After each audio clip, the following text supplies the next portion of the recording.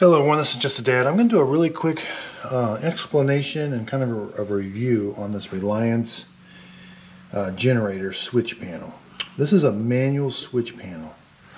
So if you got an external generator, um, you can plug it in, either, the receptacle will come either here, where you plug your generator in, or you can extend it out to the outside where I've got mine.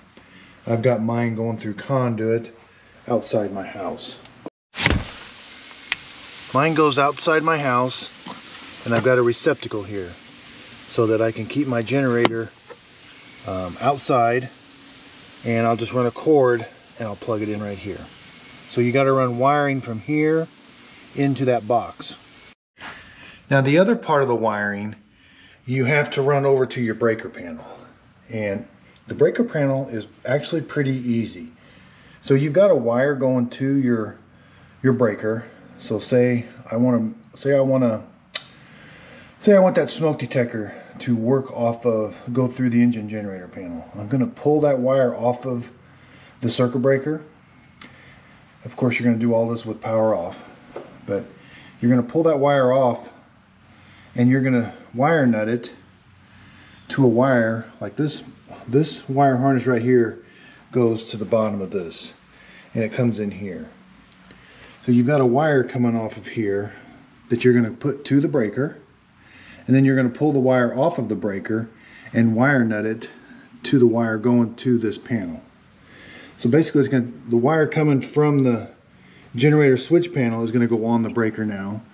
And the wire going to your, your um, service is going to get wire nutted. See, I've got some wire nutted off to the side there. You're going to wire nut those to a wire going to the switch panel also. So let me explain this now.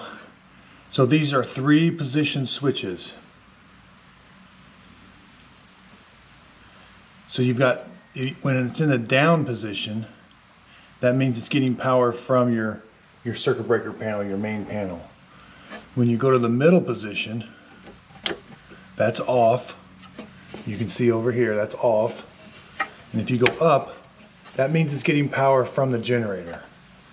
So in a power outage, I've got to hook my generator up outside. It's got to be supplying power. And then I've got to come out here and I got to manually throw these switches all to all to generator. I got to throw all these switches up.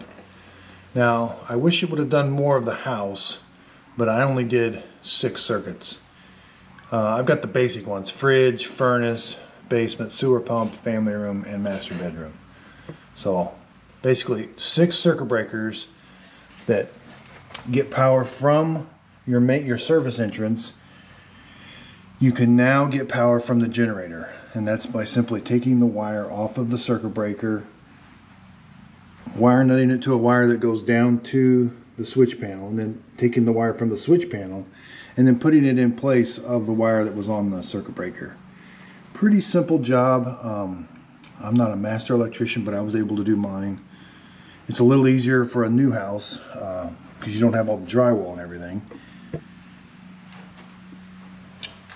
And then these also do have their own little uh, circuit breakers up at the top. And then this is really nice. It tells you the load.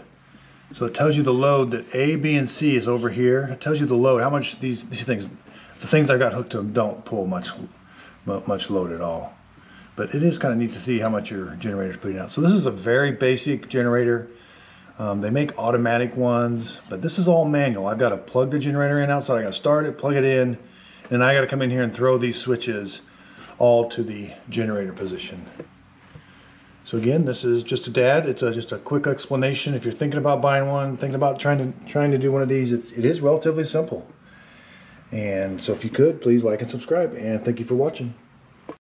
So it comes with a really nice instruction manual for installing this power transfer switch. It talks about it. Kind of gives you, shows you how to do it.